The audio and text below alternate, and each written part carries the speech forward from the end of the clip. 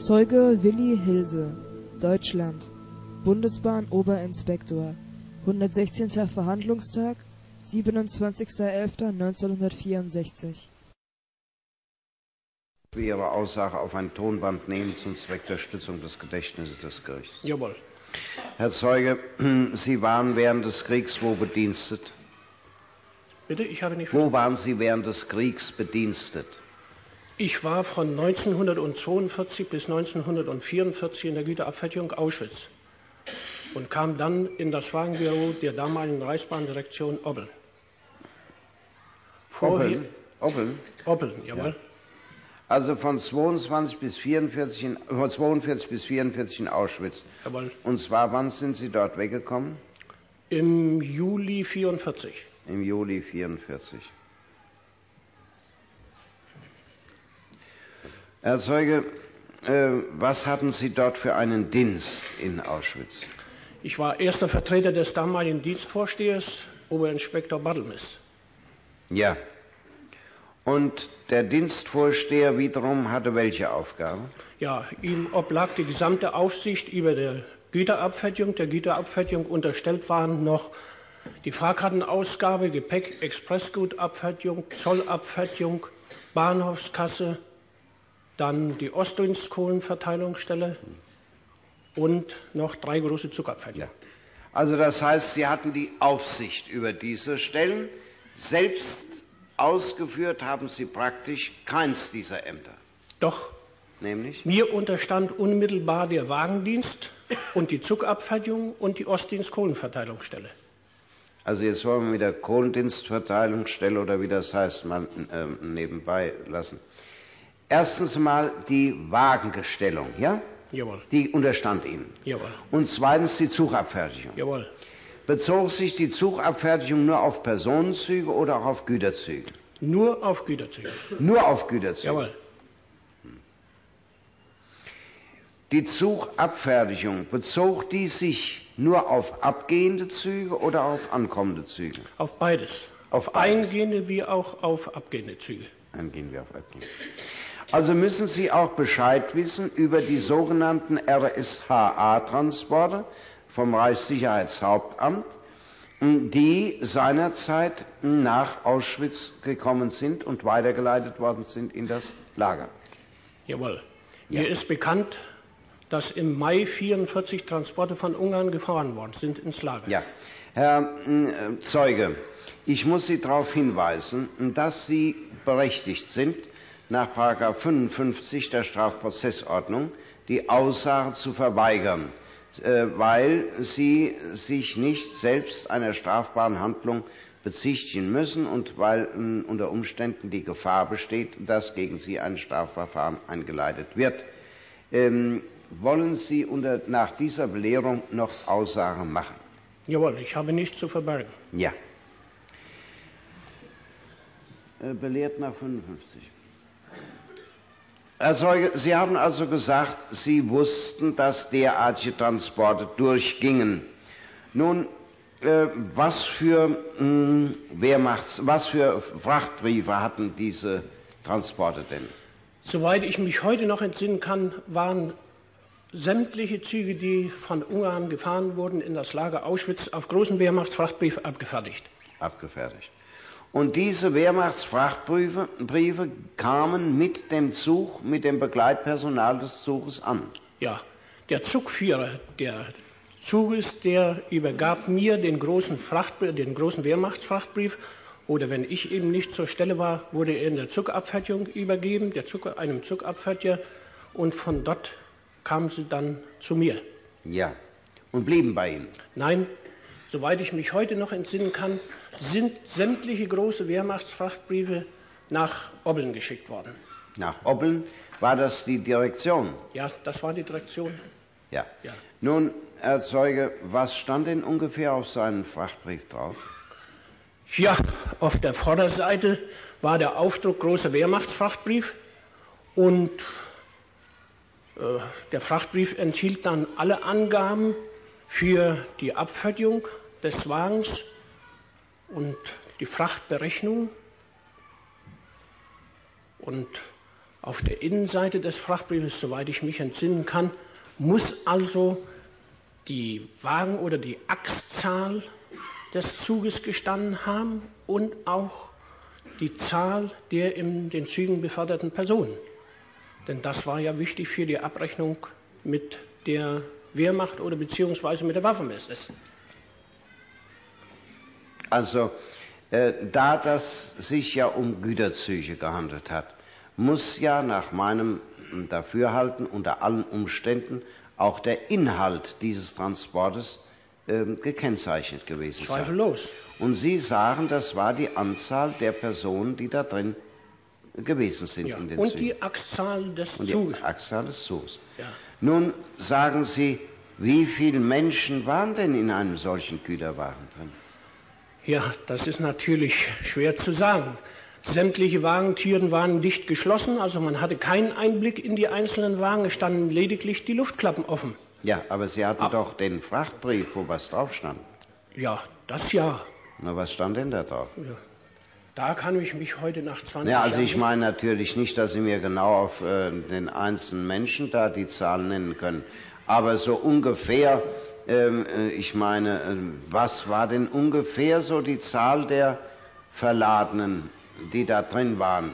Sie machen sich doch da auch, wenn Sie so einen Frachtbrief sehen, irgendein Bild, nicht, dass Sie sagen, na also, wir befördern meinetwegen, ich, um mal eine Zahl zu nennen, 20 Stück Vieh da drin und jetzt kommen da Leute mit 50 oder 60 Menschen oder 70 oder 100, ich weiß ja nicht, wie viel drin waren, dass sie sich Gedanken gemacht haben, das ist ja ein Transport, der ist schlimmer als ein Viehtransport. Ja, ich schätze, dass in jedem Wagen vielleicht 50 bis 60 Personen gewesen sind. Wenn nun der Zug mit der höchst zulässigen Wagenzahl, also es sind 60 Wagen, ausgelastet war, müssten das meines Dafürhaltens 3600 Menschen ergeben. Nicht? Ob das nun in jedem Fall zutraf, das kann ich natürlich nicht sagen. Das wissen Sie nicht. Und wie viele Transportzüge sind denn ungefähr gekommen in Ihrer Zeit? Also ich kann mich ganz genau noch entsinnen, und zwar um eine Zahl zu nennen, etwa 120. Es kann natürlich mehr, es kann natürlich auch weniger gewesen sein. Nicht? Das kann ich heute nicht mehr mit Bestimmtheit Ja. sagen.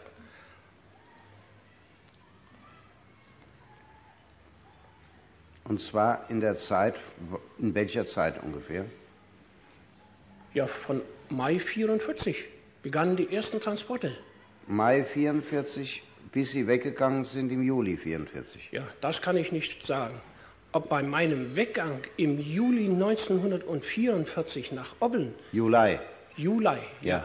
die Transporte aus Ungarn beendet waren. Nein, das können Sie nicht sagen. Ich meine nur bis zu Ihrem Weggang im Juli 44 schätzen Sie ungefähr 120 Transporte Ja, aus Ungarn. Ja. Ich habe keine Fragen mehr an den Zeugen. Noch das Gericht fragen? Nein? Herr, bitteschön. Herr Zeuge, Sie sagten, Sie hatten äh, mit dem Wagendienst, mit all dem zu tun. ja. Zunächst eine Frage. Was, äh, wie waren die Züge zusammengestellt? Waren das M-Wagen deutscher Art oder waren auch äh, umgespurte M-Wagen russischer Art, also Vierachser dabei? Also es waren alles gedeckte Wagen. Also Nun- M-Wagen. Gedeckte Wagen, ja. Ja. Nun war es ja während der Kriegszeit doch so, dass alle Wagen, auch von denjenigen Eisenbahnverwaltungen, die von uns besetzt waren, freizügig verwendet werden konnten. Ja. Ich muss also annehmen, dass auch in diesen Transporten fremde Eisenbahnwagen enthalten waren. Nicht nur allein Wagen der damaligen Deutschen Reichsbahn. Ja.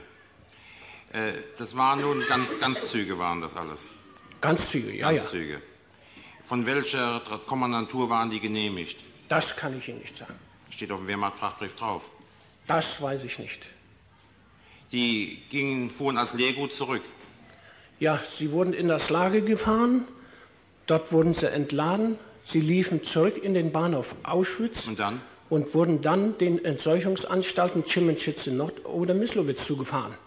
Wurden dann entseucht. Dort wurden sie Was entseucht. wurde dann aus den Zügen? Dann nehme ich an, sind sie aller Wahrscheinlichkeit, das war keine Angelegenheit des Wagendienstes, auch nicht der Güterabfertigung Auschwitz, aber ich vermute das, dass diese zusammengestellten Züge in gleichlaufenden Tunnels immer wieder nach Ungarn gefahren worden sind. Ja, es muss Ihnen hier aufgefallen sein, wenn immer gleichartige Züge wiederkamen. Ja, das konnten wir nur kontrollieren anhand der Wagennummern. Eben. Aber wagendienstlich gesehen haben Sie wir sagten dies- ja wagendienstlich gesehen, das wagendienstlich unterstand Ihnen auch, haben Sie uns vorhin gesagt. ganz Das recht. bedeutet, dass wenn ein Zug aus Ungarn kommt und Endstation in Auschwitz ist, dass eine gewisse wagendienstliche Kontrolle ja durchgeführt werden muss. Nein, in diesem Falle nicht. Warum nicht? Wir konnten das deshalb nicht, weil die Züge, wenn sie in Auschwitz ankamen, umgespannt wurden. Das heißt also, es wurde eine Rangierlok beigestellt und der Zug wurde unmittelbar in das eigentliche sogenannte KG, diesen Ausdruck erwähne ich mal hier, man bezeichnete das als Kriegsgefangenenlager, das war also das eigentliche Vernichtungslager. Dort wurden die Züge sofort zugefahren. Sie wurden zurückgedrückt und kamen wieder in den Bahnhof mit einer neuen Maschine bespannt und wurden dann in den Entsorgungsanstalten zugefahren.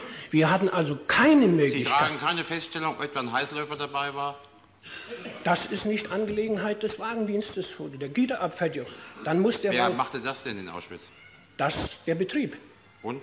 die War der rangieren. Betrieb eingeschaltet? Ja, auf jeden Fall. Insoweit? Und Sie wissen also auch nicht, ob die Züge auf, in Auschwitz im Lager aufgeteilt werden mussten, ob, sie alle rein, ob der Zug in seiner ganzen Länge einfahren konnte? Soweit mir bekannt ist der Zug in seiner ganzen Länge in das Lager gefahren worden. Ohne weiteres. Brauchte nicht Ohne geteilt zu werden. Nein, Brauchte nicht auseinandergezogen Nein. zu werden. Waren Sie mal da draußen? ein einziges Mal. Und wann, bei welcher Gelegenheit? Ja, ich hatte dienstlich dort draußen zu tun. Der Zutritt zu diesem Vernichtungslager war uns Eisenbahnern grundsätzlich verboten. Und wo hatten Sie dienstlich zu tun? In diesem Vernichtungslager. Ich kann aber nicht mehr sagen, welche, aus welchem dienstlichen Grunde ich dort drin zu tun hatte. Und wie kamen Sie da rein? Ich bin auf der Lok gefahren, Auf der Lok. auf der Lok. Schauen Sie sich mal da diesen Plan an. Entspricht das Ihrer Erinnerung?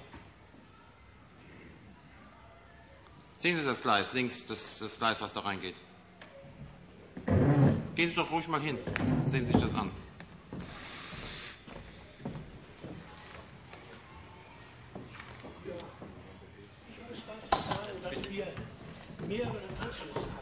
Ja.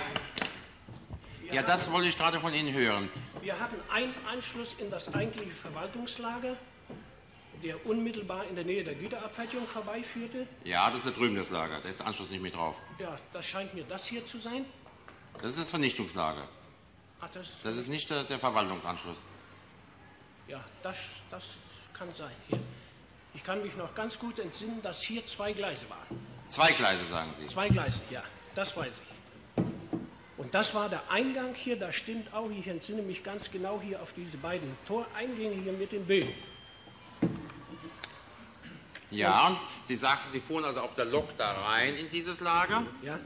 Ja, bitteschön, legen Sie die Stange wieder hin, können Sie wieder hierher sitzen.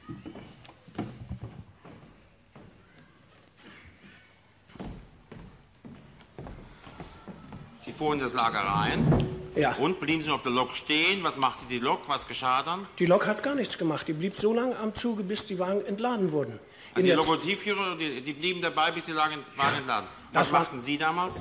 ich bin damals in das Bürogebäude gegangen, also das ist dieses... Wo, die B, wo das B da steht wohl, Ganz ne? recht hier von mit diesen runden Ja. Eingängen. Nicht? Ich habe dort meine Sache erledigt. Was haben Sie erledigt da? Das kann ich Ihnen heute nicht mehr sagen. Was das für eine dienstliche Angelegenheit war, das kann ich Ihnen nicht Muss mehr doch immerhin recht wichtig gewesen sein, wenn Sie da in dem einen Fall mit dem Transport ins Lager reingefahren sind. Zweifellos. Mhm. Und ich bin auch, das möchte ich hier erwähnen, fast nicht mehr aus diesem Lager herausgekommen. Und warum nicht? Ja, weil ich keinen besonderen Ausweis bei mir hatte, um überhaupt dieses Lager betreten zu können. Wir hatten lediglich. Ja, und die Lokführer hatten die den Ausweis? War das Auschwitzer Personal oder war das das das Streckenpersonal? war Auschwitzer Rangierpersonal. Das war nicht das Streckenpersonal. Nein, kein Die Fall. Streckenlok war abgehängt, ein Rangierlok hat den Zug eingezogen. Jawohl. Und das Auschwitzer äh, Rangierpersonal hatte besondere Ausweise. Das weiß ich, ich glaube nicht. Ja, wie- Denn letzten Endes, die Züge mussten ja letzten Endes doch Ja, reingefahren die werden. waren ja nur auch drin. Warum hat man ihnen Schwierigkeiten gemacht? Ja, weil ich eben keinen Ausweis hatte. Es war ein, wenn, also für dieses Lager, also dieses Lager durfte man grundsätzlich nicht betreten. Ich bin aber reingefahren auf eigene Verantwortung, weil ich dort irgendetwas aus dienstlichen Gründen zu erledigen hatte. Und das habe ich auch gemacht und ich wäre beinahe nicht mehr aus dem Lager herausgekommen, aus diesem eigentlichen Vernichtungslager, weil ich nicht keinen, eben keinen Ausweis für das Betreten dieses Lagers bei mir hatte. Nun wollen wir uns mal aus Ihrer Tätigkeit, aus Ihrem Aufgabenbereich zurückerinnern, was das gewesen sein könnte. An sich hatten Sie ja doch nur zu kontrollieren, nicht die technische Zugabfertigung, sondern die Abfertigung der Papiere. Die Abfertigung der Papiere auch nicht. Da war, Sondern? die, da war die Versandabfertigung da. Ja, Oder aber die, Sie waren doch vorgesetzt. mir unterstand nur der Wagendienst. Nur Auch der Wagendienst? Nur der Wagendienst. Ich hatte mit, der Versand, mit dem Versand oder Empfang. Was könnte also der Grund gewesen sein, dass Sie damals äh, da reingefahren sind? Das kann ich Ihnen Innerhalb Ihrer Tätigkeit. Überlegen Sie mal. Aus Ihrem Aufgabenbereich heraus. Und das waren ja nicht so viele Details, was Sie zu tun hatten. Das kann ich heute nicht mehr. Können Sie nicht mehr sagen. Nein. Ich weiß nur so viel, dass, wir, dass die Güterabfertigung hatte einen Verbindungsmann Ja. vom Lager zur Güterabfertigung. Und dieser Verbindungsmann, das war ein SS-Unterscharführer, dem, äh, der holte die Frachtbriefe von der Güterabfertigung ab und er brachte also auch wieder hinein in das Lager. Und da kann ich mich wohl entsinnen noch, dass ich ihm diese Sache äh, gegeben hatte, damit er sie vielleicht erledigen konnte. Das war aber nicht möglich. Und ich musste aus, deshalb musste ich in dieses besondere Lager da rein. Ja. Ich kann Ihnen aber nicht sagen, aus welchem Grunde das. Nun etwas anderes zu den Frachtbriefen. Es musste für jeden Zug, der ankam, musste ein Frachtbrief vorhanden sein. Jawohl. Der musste Ihnen übergeben werden. Jawohl. Nun musste der Frachtbrief auch aus zwei Gründen richtig deklariert sein. Einmal aus Verkehrssicherheitsgründen, die Waggons durften ja nicht überladen sein. Und zweitens aus Gründen der Bezahlung, ist doch wohl klar. Jawohl. Und in welcher Art haben Sie das überprüft? Beziehungsweise, wenn Sie es nicht überprüft haben, haben Sie das gemeldet? Was geschah da? Oder hatten Sie Anweisung, dass das nicht überprüft werden durfte? Die sind nicht überprüft worden, die Frachtbriefe. Wer hat Ihnen Anweisungen gegeben, dass Sie es nicht überprüfen sollten? Wir konnten sie auch praktisch gar nicht überprüfen. Ja, wenn Sie es nicht überprüfen konnten, mussten Sie Meldung machen. Die brauchte ich nicht. Auf Warum den? Frachtbriefen stand ja nicht die Wagenzahl oben oder die Wagennummer. Anders wäre es gewesen, wenn der Sie hatten Frachtbrief. doch einen großen Wehrmachtfrachtbrief. Ganz recht. Da war der Transport auf der zweiten Seite genau deklariert. Ganz recht. Ja, eben. Aber es waren nicht die Wagennummern angegeben. Wenn ich also als Wagendienst. Die Wagennummer nicht, ja. Sie sagen, Sie sagen vom Wagendienst aus, konnten Sie nicht kontrollieren. Ganz recht. Wer hat nun den Inhalt kontrolliert? Ja, das ist dann in Oppeln geschehen. Die Frachtbriefe In gingen Oppeln doch. konnten Sie es nicht mehr tun. Denn in Oppeln war der Zug leer. Da stand er inzwischen in Mislowitz zur Entseuchung. Ja, es waren doch aber in den Frachtbriefen waren doch die Achszahlen angegeben. Immerhin konnte das verglichen Ja, und werden im G-Waren, im Betriebe. 40 Tonner G-Waren durften rein 50 bis 60 Menschen äußer, äußerstenfalls. Und wir haben hier Zeugen gehört, dass da über 100 drin waren. Das war zum Beispiel etwas, was kontrolliert hätte werden müssen. Das, also wenn ich rangegangen wäre ein, an einen Transportzug, der unter strenger Bewachung der SS stand, dann hätten sie mich zweifellos erschossen. Ich will Ihnen hierzu nur einen Fall nennen. Es war im Sommer des Jahres 1944. Da stand ein Transportzug von Ungarn im Bahnhof Auschwitz, unmittelbar gegenüber der Güterabfertigung. Die Wagentüren waren geschlossen, nur die Luftklappen waren offen. Und eine Frau hielt ein kleines Kind im Arm und rief fortlaufend nach Wasser. Ich habe mir dann ein Herz gefasst, ich habe dann einen Krug Wasser genommen und bin rangegangen an den Zug. Und als ich in unmittelbarer Nähe des betreffenden des Wagens stand, kam sofort ein SS-Mann an mich heran und fragte, was ich hier zu suchen habe.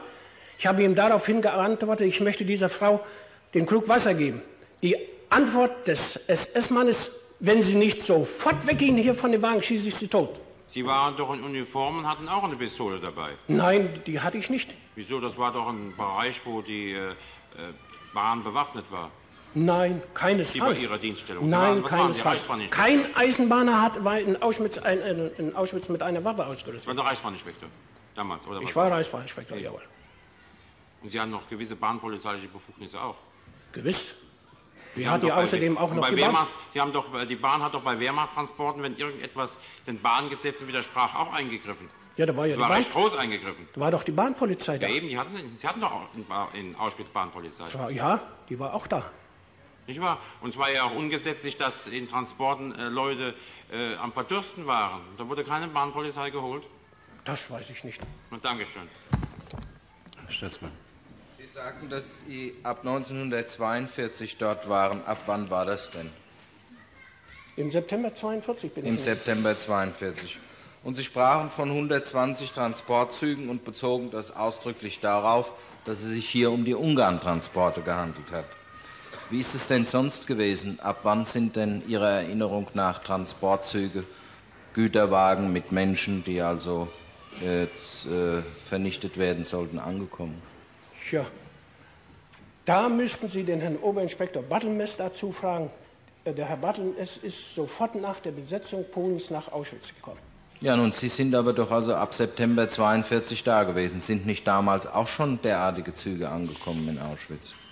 Ja, gewiss, dort sind laufend Transportzüge angekommen. Ja. Können Sie darüber Zahlen angeben? Die kann ich Ihnen nicht ansagen. Können, wissen Sie, woher die Züge kamen? Nicht. Die die- Güterabfertigung ist in keiner Weise über die Transporte, die nach Auschwitz kamen, äh, unterrichtet worden.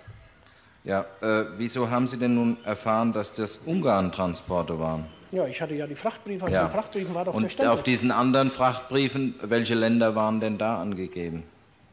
Da sind keine Frachtbriefe gekommen. Nur waren Frachtbriefe nur bei den Ungarn-Transporten? Jawohl. Sonst waren keine Frachtbriefe. Nein. Die sind zu verschiedenen Tages- und Nachtzeiten in das Lager gefahren worden. Wir haben, wenn überhaupt oder wenn Transporte in das Lager gekommen sind, dann haben wir das dann dadurch erfahren, dass uns die Zugabfertiger oder die Rangierpersonale gesagt haben, heute Nacht sind meinetwegen zwei oder drei Transportzüge ins Lager gefahren worden. Ja. Sonst hatten wir überhaupt gar keine Ahnung.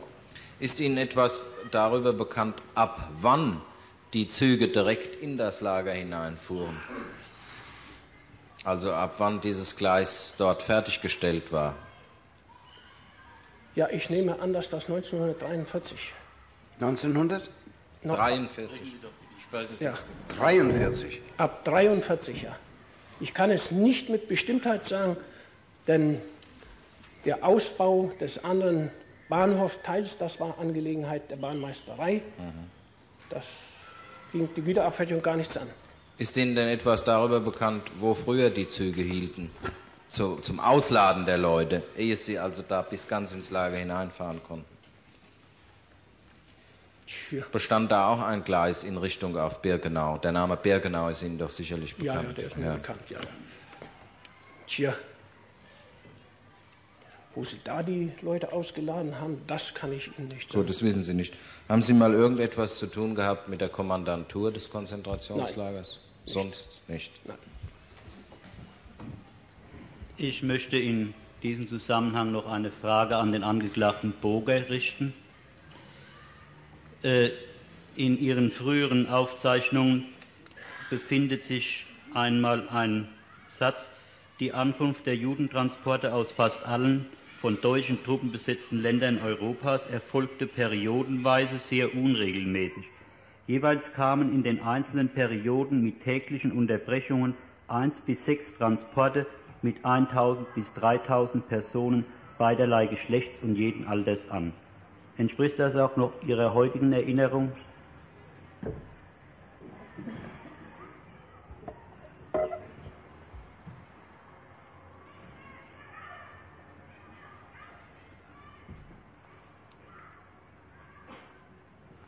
Können Sie auch noch etwas sagen über die Gesamtzahl der nach Auschwitz deportierten Menschen?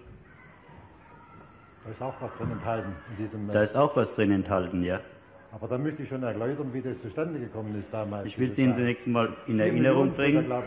Da ist die Gesamtzahl der in Auschwitz durch Vergasung, Erschießung, Strang, Seuchen getöteten Häftlinge wird nie mehr genau zu ermitteln sein, übertritt aber sicher nach vorsichtiger Schätzung äh, weit über vier Millionen.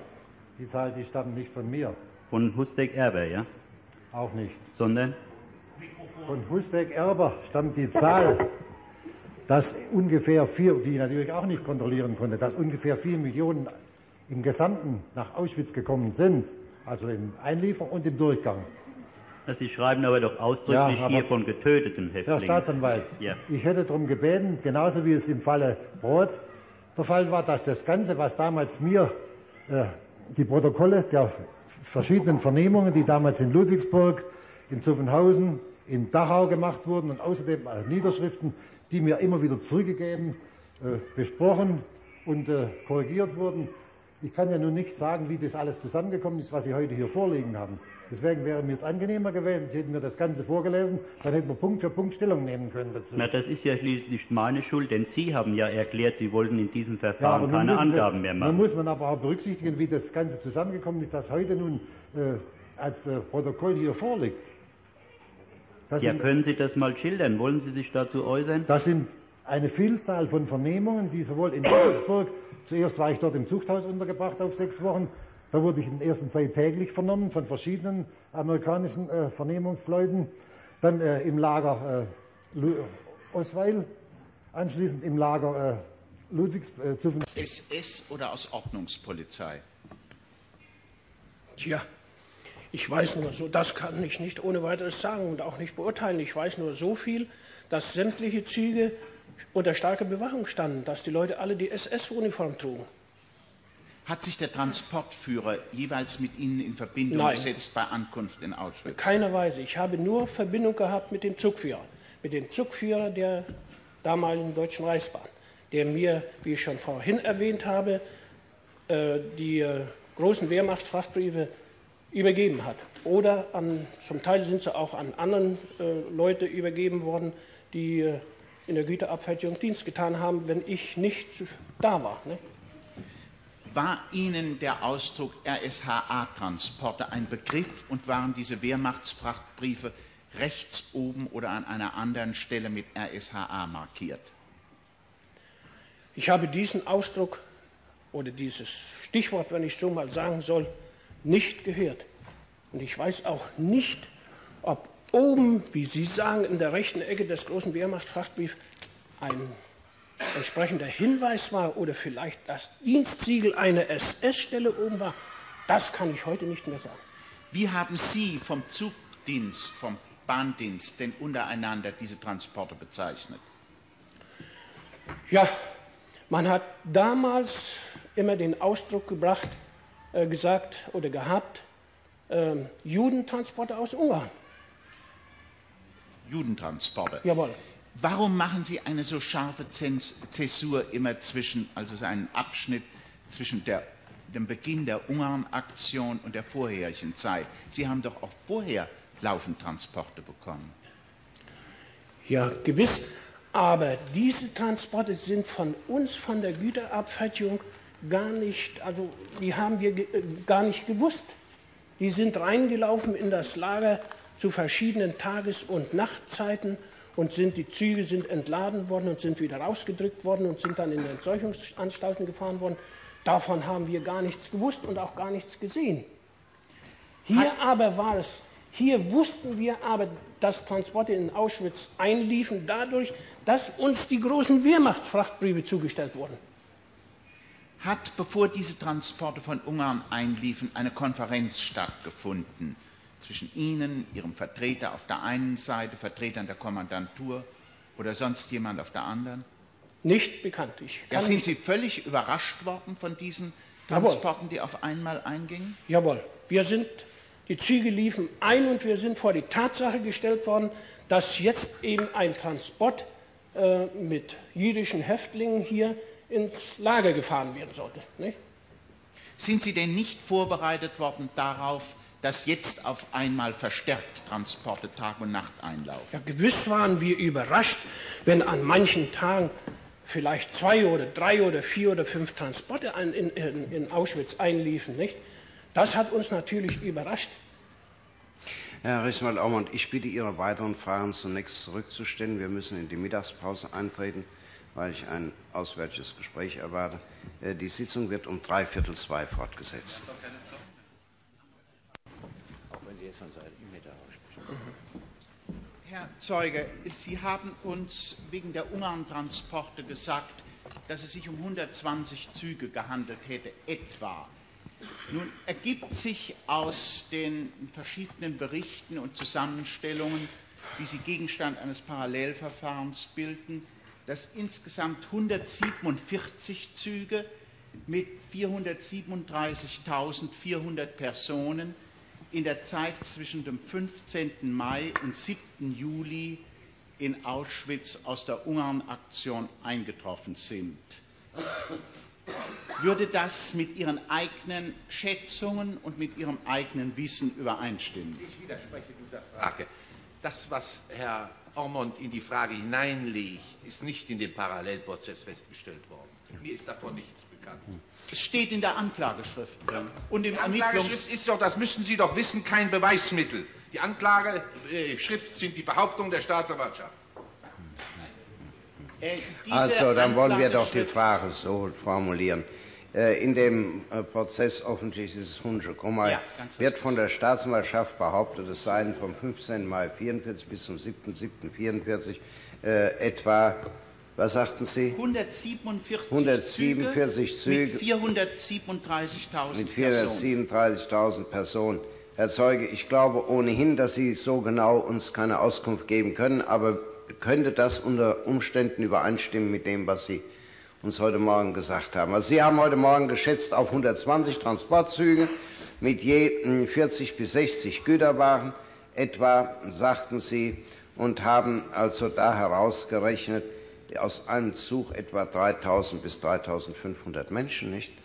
Das zu beurteilen ist doch aber wohl Sache des Gerichts und keine Zeugenfrage. Ich widerspreche deshalb der Frage ebenfalls. Nein, der Herr Rechtsanwalt Ormond will ja lediglich dem Zeugen einen, eine Frage vorlegen, die dahin geht, ob diese Schätzung, die er, die er uns heute Morgen gegeben hat, ob diese Schätzung von ihm eventuell rektifiziert werden kann, wenn er hört, dass die Staatsanwaltschaft derartige Behauptungen aufgestellt hat. Wissen Sie etwas genaueres über die Zahlen als das, was Sie uns gesagt haben heute Morgen? Bleibe bei meinen Aussagen. Sie bleiben bei Ihren Aussagen.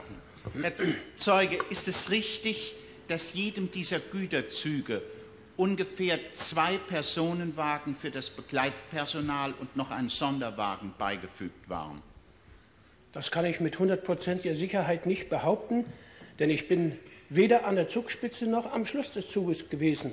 Die Möglichkeit besteht aber, dass ein Packwagen beigestellt war, denn letzten Endes musste ja der Zugführer, der musste ja auch in irgendeinem Wagen fahren.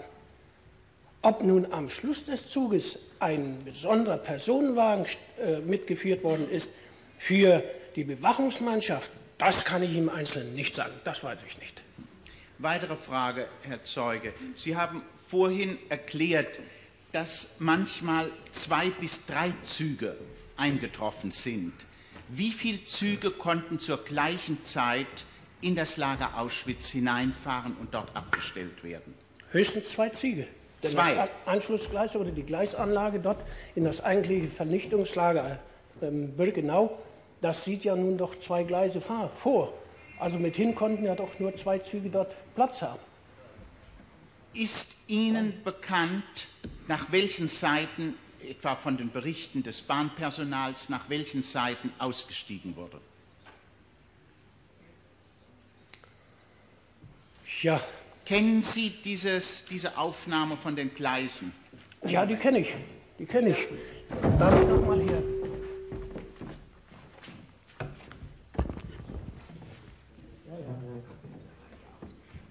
Also wenn ich in dem Lager gestanden habe, ja. wenn ich hier in diesem Gleisabschnitt oder hier in diesem Vernichtungslager gestanden habe, dann war an der linken Seite die Straße und links von der Straße waren lauter Baracken mit hohen Drahtzäunen umgeben. Und soweit ich mich entsinnen kann, war das hier ein Frauenlager. Folglich konnte das Aussteigen der Häftlinge nur auf die linke Seite erfolgen. Verstehe ich nicht. Warum das folglich nur auf die linke Seite sein kann, weil dort ein Lager war? Nein, weil dort die Straße war. Ja, aber da war doch eine Rampe, wenn uns hier richt- berichtet worden ist. Da war doch eine Rampe. Und auf diese Rampe stiegen doch die Leute aus. Und von dieser Rampe wurden sie dann geführt auf die Straße. Aber ich weiß nicht, warum das Aussteigen notwendigerweise auf der Seite erfolgt sein muss, wo eine Straße lief. Naja, man, Herr Vorsitzender, man kann auch die Frage nicht so stellen, auf welche Seite ausgestiegen wurde. Das ist doch, bei jedem Mal konnte es verschieden sein. Es gibt doch nicht eine Antwort für das Aussteigen auf mehrere hundert Rechtsanwalt, der Transporte. Zeuge weiß es entweder, dann soll er uns sagen, was er weiß. Oder er weiß es nicht, dann soll er uns auch sagen, dass er nichts weiß. War ja nur einmal da. Und der Herr Ormond hat eben fragen wollen, ob ihm sonstige ähm, er Berichte oder Meldungen oder sowas gehabt hat, woraus das hervorgegangen ist. Also was Sie für möglich halten, das äh, ist nicht so wichtig hier als das, was Sie selbst erfahren haben, sei es aufgrund eigener Wahrnehmung, sei es aufgrund von Berichten und Meldungen, die Sie damals gemacht bekommen haben. Ich habe dann keine weitere. Keine weitere Frage mehr, Herr Rabe. Eine Frage. Herr Zeuge, Sie nannten heute Ihren Vorgesetzten in Auschwitz, ich glaube, Sie nannten den Namen Bartelmess. Lebt dieser Mann noch? Ja, ich nehme. Nürnberg, ist dort Bundesbahn. Ich widerspreche der Frage. Verzeihen Sie, Herr Staatsanwalt, ich habe, damit zu tun. mit ich dem habe eben den Prozess. Zeugen gefragt. Ich weiß nicht, was Sie. Ich weiß es vielleicht besser Ja, als der ja, Zeuge, der kennt den doch gar Ja, nicht. verzeihen Ich widerspreche ich der Sie ja Frage. nicht als, als, ich habe Sie ja hier nicht befragt eben. Also es ist der Zeuge gefragt worden, ob der Herr Patelmes heute noch lebt. Und warum widersprechen Sie der Frage? Weil diese Frage weder mittelbar noch unmittelbar mit den angeschuldigten Taten laut Eröffnungsbeschluss im Zusammenhang steht. Wieso? Der Herr Patelmes, die Frage nach dem Herrn Patelmes klärt lediglich dessen Aufenthaltsort. Und warum soll der Aufenthaltsort eines Mannes, der eventuell als Zeuge in Frage kommen könnte, weil er unter Umständen etwas Näheres weiß von diesen Transporten, warum soll der nicht wichtig sein? Also ich würde die Frage zulassen. Wissen Sie, wo der Herr Patelmes wohnt und ob er noch wo lebt und äh, wo er sich aufhält? Ja, Herr Bartelmess lebt noch. Zwar lebt er in Nürnberg. Der war erster Dienst, äh, Vertreter von dem äh, Dienstvorsteher der Güterabfertigung Nürnberg. Es ist durchaus möglich, dass er in der Zwischenzeit pensioniert worden ist. Aber ich nehme an, dass er auch heute noch in Nürnberg Noch eine Frage, Herr Rechtsanwalt. Äh, Herr Rechtsanwalt Dr. Reiners. Herr Oberinspektor, haben Sie sich über die Mittagspause noch mal mit den Dingen, Dankeschön, äh, mit denen Sie heute Morgen befasst wurden, beschäftigt? Nein. Nicht? Ich habe ich habe meine Aussagen gemacht hier? Haben nicht darüber nachgedacht, normal, was da heute Morgen so. Nein. Nicht. Ich nehme das zur Kenntnis. Ist Ihnen aber vielleicht aus anderem Zusammenhang nun die Antwort eingefallen, die Sie dem Herrn Ergänzungsrichter schuldig geblieben sind, was nämlich der Anlass war, warum Sie das einzige Mal dort in Birkenau auf der Rampe waren? Das kann ich Ihnen auch jetzt nicht sagen. Ich darf Ihnen vorhalten, dass mir das auffällt. Sie erinnern sich an das eine Mal. Immerhin ein eigenartiger, besonderer Vorfall. Sie erinnern sich daran, dass Sie, das ist mir hier eingefallen, mit dem Ergänzungsmann, dem SS-Unterführer, sprechen wollten. Sie erinnern sich daran, dass Sie selbst hinfahren mussten, weil es so nicht ging. Und Sie erinnern sich auch daran, dass Sie Schwierigkeiten hatten, das Lager zu verlassen. Ja, das stimmt. Und deshalb fällt mir auf, dass Sie nun eigentlich den Grund der ganzen Herrlichkeit, der ganzen Veranstaltung, dass der Ihnen entfallen ist. Ja, dazu muss ich Folgendes sagen. Denken Sie mal an, in der Zwischenzeit sind über 20 Jahre vergangen. Vielen Dank, das ist mir auch ohnehin bekannt, danach hatte ich Sie nicht gefragt. Ich hatte gefragt, ob Ihnen, nachdem Ihnen diese Nebendinge so ganz plastisch in Erinnerung sind, Ihnen inzwischen vielleicht auch die Hauptsache eingefallen wäre, aber Sie sagen mir ja, Sie hätten keinen Anlass gehabt, über die Mittagspause darüber nochmal nachzudenken. Nein, ich kann mich auch heute, auch jetzt nicht daran äh, erinnern, weshalb ich da draußen gewesen bin. Naja, also ich habe Also gedacht, muss es unbedingt eine dienstliche Angelegenheit gewesen sein, sein denn aus freien Stücken bin ich doch, wäre ich doch nicht da draußen. Das ist etwas ganz anderes. Das wollte ich nicht wissen. Herr Oberinspektor, Sie sagten vorhin, diese Wagen, die da kamen, wären wohl des Öfteren dieselben gewesen, die dann also von Ungarn kamen, ausgeladen, entlaust und so weiter wurden und dann wieder zurückrollten. Sagen Sie mal, waren auch die Zugführer und das Begleitpersonal, also die Eisenbahnbeamten, die mitfuhren, waren das auch öfters dieselben? Das kann ich nicht sagen. Waren das auch? Bitte? Was, wie war die Frage? Ob das auch öfters dieselben waren? Öfters dieselben waren. Immer andere oder wie? Sie müssen Folgendes bedenken, wenn ein Zug in Ungarn auf irgendeinem Bahnhof abgefahren wird oder hier in der Bundesrepublik oder ganz gleich bei einer anderen fremden Eisenbahnverwaltung, doch das Eisenbahnpersonal, das Begleitpersonal niemals vom Versandbahnhof bis zum Stimm- Bestimmungsbahnhof mitfährt. Ja, das ist ja keine Antwort. Das könnte doch inzwischen dann diejenigen immer dieselben gewesen sein, die bis zum Bestimmungsbahnhof dann fuhren. Das, das kann ich Ihnen nicht sagen. Ich frage die Frage aus, stelle die Frage aus dem Grunde, weil Sie auf die Frage, ich glaube auch wieder des Herrn Ergänzungsrichters, äh, sagten, Sie hätten sich niemals mit dem Zugpersonal oder dem Begleitpersonal oder der Wachmannschaft über die, na sagen wir mal, Eigenart der Fracht, der Ladung, die da transportiert wurde, unterhalten. Nein, habe ich auch nicht gemacht. Haben Sie nicht gemacht. Aha. Eine Frage noch. Wer hat Sie eigentlich benachrichtigt, wann und wie die Züge, die bei Ihnen und in Auschwitz auf dem allgemeinen Bahnhof ankamen, nach Auschwitz in das Lager auf die Rampe gefahren werden sollten? Das ergab sich daraus, dass mir der äh, große Wehrmachtsfrachtbrief äh, vorgelegt wurde und dass doch die Waffen-SS, die Bewachung doch bei den Zügen dabei war. Das genügte doch schon. Da konnte man doch ersehen, dass diese Transporte ins Lager gefahren wurden. Ich habe nicht so viele technische Kenntnisse über Eisenbahnwesen wie der Herr Ergänzungsrichter, aber es kommt mir doch merkwürdig vor, dass die SS dienstliche Anweisungen der Bundesbahn bzw. damals der Reichsbahn erteilte. Das ist doch etwas merkwürdig. Das haben Sie eben gesagt. Anders heißt das ja nichts. Ich? Tja. Ja, ich habe mit dem Transport, mit dem eigentlichen Transport in das Lager ja gar nichts zu tun. Das waren ja dann das Hineinfahren der Züge in das Lager. Das waren doch rein betriebliche Angelegenheiten. Und das hat Sie nicht interessiert? Nein, das ging mich überhaupt gar nichts an. Ob Sie das was anging, habe ich nicht gefragt. Ob Sie das nicht interessierte? Ja, also wir haben bestimmt gefragt, nicht, nachdem die ersten Transporte eintrafen, was eigentlich hier los ist, denn wir sind ja nicht verständigt worden, wir hatten ja überhaupt keine Ahnung davon, nicht? Ja, doch, das haben Sie heute mal anders gesagt. Verständigt sind Sie worden, nicht wahr? Ja, ich bin verständigt worden durch den Zugführer, der also. mir die Frachtbriefe, den großen Wehrmachtsfrachtbrief mhm. abgegeben hat. Ach so, meinten Sie das? Jawohl. Mhm. Aber ansonsten hatten wir keine Ahnung, wenn irgendwelche Transporte in das Lager gefahren werden. Also. Da sind wir grundsätzlich nicht informiert worden. Und eine letzte Frage noch. Sie sagten heute Morgen, Herr Zeuge, das Begleitpersonal, das Bewachungspersonal hätte ja. nur aus SS-Angehörigen bestanden.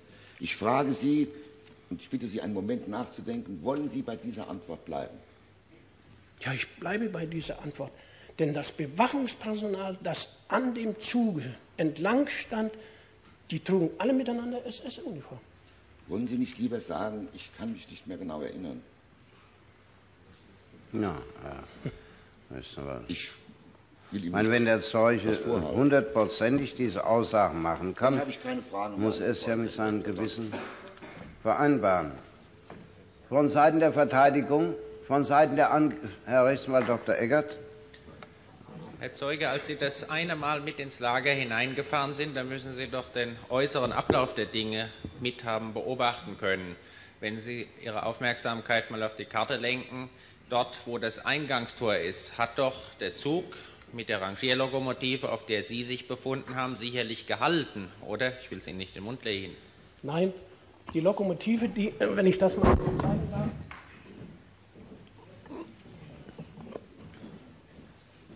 Ist hier vorgefahren und hat hier an äh, diesem äh, Herr Ende Zeuge, gestanden. unten meine ich zunächst mal, ist jetzt angekommen. Ja, ja, natürlich. Hier ist die Lokomotive, also die Zugspitze gewesen, und dann ist der Zug hier reingefahren bevor er reingefahren ist, drängt sich doch für den Laien zunächst einmal die Vermutung auf, dass der Zug da nicht einfach reinfahren konnte, sondern dass da vorne am Tor erst etwas erledigt werden musste. Und genau das möchte ich nun wissen, was sich da getan hat. Oder ist er in einem Zug vom Bahnhof oder Güterbahnhof Auschwitz durchgefahren und die Lokomotive hat erst wieder gehalten, als er da oben in der Nähe der Krematorien stand? Das war gar nicht möglich. Der Zug konnte hier, wenn er im Bahnhof Auschwitz stand, nicht in einem Zuge hier durchfahren. Er musste erst in den Vorbahnhof, der hm. nach 1900 oder 1943 neu erstellt worden ist. Dort musste der Zug erst hineinfahren. Und Ein Vorbahnhof. Wo war der Vorbahnhof? Ja, also wenn ich hier äh, den Bahnhof Auschwitz annehme, hier unten, dann äh, war hier 1943 also in Richtung nach Westen in Richtung Körper ist ein neuer Bahnhof gefertigt worden mit äh, Rangiergleisen und Zugbildungsgleisen und so weiter. Und da ist der Zug erst hier rausgestoßen worden und dann konnte der Zug erst hier reinfahren in dieses Lager. Ja, nun meint aber der Herr Rechtsanwalt, ob der Zug an dem Tor, an dem Eingangstor von Birkenau hat halten müssen. Zweifellos, denn das Tor, das war doch verschlossen. War doch verschlossen. Und dann will der Herr Rechtsanwalt wissen, ob dann, nachdem er gehalten hat, irgendwelche Formalitäten zu erledigen gewesen wären, damit der Zug freie Fahrt in das Lager bekam. Meines Dafürhaltens nicht. Wenn hier das Tor dann geöffnet worden ist, hier von den Leuten der Waffen-SS, dann haben die auch doch dem Lokführer den Auftrag gegeben oder zumindest gesagt, bitte fahren Sie weiter. Ja, Sie haben es doch einmal miterlebt, Herr Zeuge. Können Sie sich noch daran erinnern, wie es Ja, da gewesen ist? selbstverständlich.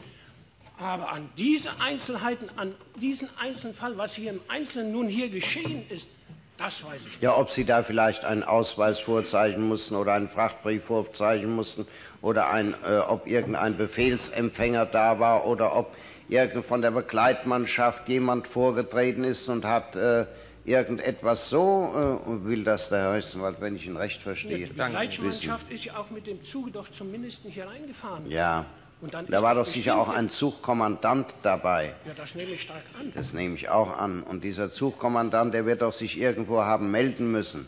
Und er wird doch irgendwo haben sagen müssen, also jetzt habe ich hier einen Transport mit so und so vielen Menschen und ähm, auf der Fahrt nach Auschwitz. Und Ja, das ist zweifellos dann hier an. haben Sie das nicht erlebt? Da kann ich mich nicht dran Können Sie sich nicht darauf erinnern. Noch eine Frage? Keine Frage mehr. Sonst noch eine Frage? Bitte schön. Mir ist etwas heute Morgen nicht klar geworden, eine Ihrer Antworten an den Herrn Nebenkläger, Rechtsanwalt Ormond. Sie hatten auf Befragung gesagt, dass die früheren Transporte vor den Ungarns-Transporten einfach in das alte Lager auf ein Gleis des Lagers gefahren worden wären und dass Sie davon gar nichts gehört hätten. War das so richtig? Ich habe gesagt, ich weiß nicht, wie, wohin die Wagen gefahren worden Ja, sind. und Sie hätten von den Transporten überhaupt nichts gehört, die seien Ihnen gar nicht gemeldet worden. Nein, gar nicht. Ja, das ist mir nicht ganz klar. Und zwar deswegen. Sie sagten doch, dass Sie Leiter der Güterabfertigung waren. Das war ich nicht. Ich war stellvertretender Leiter. Jawohl. Ja. Also Stellvertreter des Chefs da. Und Sache der Güterabfertigung, Sie sagte der Name schon Abfertigung, ist doch dass kontrolliert wird, welche Güter ausgeliefert werden. Wenn es ganze Waggons sind, wird das auch abgefertigt. Auch dafür gibt es einen Frachtbrief. Stimmt das? Ganz recht. Ja. Und äh, es ist ja doch im Reichsbahnbetrieb, genau wie heute im Bundesbahnbetrieb, völlig undenkbar, dass die Zugleitung äh, etwa, nehmen wir an, hier in Frankfurt, wird, äh, Sie sind ja hier in Frankfurt tätig, äh, in, den, in die Großmarkthalle Waggons reinfährt, ohne dass die Waggons abgefertigt sind. Das ist undenkbar. Folgen Sie mir da insoweit? Ja, natürlich. Eben, natürlich. Und deswegen halte ich Ihnen vor, war es auch dort undenkbar, dass Waggons von der Zugleitung irgend auf ein Lagergleis weggefahren wurden, ohne dass die Güterabfertigung davon benachrichtigt wurde, ohne dass die Güterabfertigung die Frachtbriefe vorprüfen, abfertigen und nachher nach Oppeln schicken konnte. Ich will damit sagen, was Sie heute Morgen Herrn Ormond gesagt hat, glaube ich Ihnen nicht. Doch, wie in diesem Falle hier, als die Transporte aus Ungarn gefahren Ich meine jetzt nicht die Ungarn-Transporte, sondern die früheren Transporte, von denen Sie gesagt haben, äh, da hatten wir gar, die haben wir gar nicht zu sehen, da haben wir gar nichts von gehört, die wurden einfach da hingefahren zu dem Lager auf ein anderes Gleis. Die Frachtbriefe müssen Sie doch gekriegt haben. Nein, wir haben keine Frachtbriefe bekommen. Und haben Sie keine Meldung gemacht, dass äh, im Bereich des Güterbahnhofs äh, Auschwitz ein Güterverkehr stattfindet, der allen Bestimmungen der Reichsbahn widerspricht, wobei nicht einmal festzustellen ist, ob die Fracht bezahlt wird? Ja, Das wären ja praktisch schwarze Waggons gewesen, die im Netz der Reichsbahn hin und her geschoben worden wären. Das sind doch alter Beamte, das muss Ihnen doch klar sein. in welcher Form die Abrechnung erfolgt, das weiß ich nicht. Das habe ich nicht gewusst. Aber Ihre Aufgabe war doch festzustellen, dass die zugehörigen Frachtbriefe da waren. Das war nicht meine Aufgabe. Sondern, das, wer war denn, wessen Aufgabe war es denn dann? das, Das ist die Güterabfertigung. ja, der Güterabfertigung, Eben, gewiss. da waren Sie tätig. Das haben Sie selbst gesagt. Sie können mich doch jetzt nicht verantwortlich machen, wenn hier in das Lager... Frage Sie ja nur. Oder war es so, dass da einfach befohlen worden war, da habt ihr euch nicht drum zu kümmern? Das ist nicht befohlen worden. Nicht befohlen worden. In welcher Form die Züge, die vor, der, den, äh, vor Mai 1944 nach Auschwitz gefahren worden sind, wie in welcher Form die abgefertigt worden sind und äh, abgerechnet worden sind, Das entzieht sich meiner Kenntnis. Wie wurde denn, wissen Sie denn wenigstens, wie ein Waggon abgefertigt wurde, der mit Lebensmitteln in das Lager reinkam? Der kam auf Frachtbrief. Der kam auf Frachtbrief. Der Frachtbrief, der ging Aha. ein, der wurde abgestempelt, der ist verbucht worden und lief auf das Konto der Waffen-SS. Die musste ja dann die Fracht bezahlen. Ja. Und von den anderen wissen Sie nicht. Nein, das haben wir keine Äh, ist Papiere. Ihnen bekannt, dass, die, dass auch Griechentransporte kamen, Das weiß ich nicht. Das sehe ich heute hier zum ersten Mal. die sogar Sammelfahrkarten hatten? Ist mir nicht bekannt. Da wissen Sie auch nichts von. Dankeschön. Es waren ja auch dann keine Güterzüge, sondern mit Personenfahrkarten. Ja, und es wurde uns gesagt, dass die Fahrkartenaufgaben auch zu dem gleichen Bereich gehören. Darf ich in dem Zusammenhang eine Frage an den Angeklagten Stark stellen? Bitte schön. Herr Stark,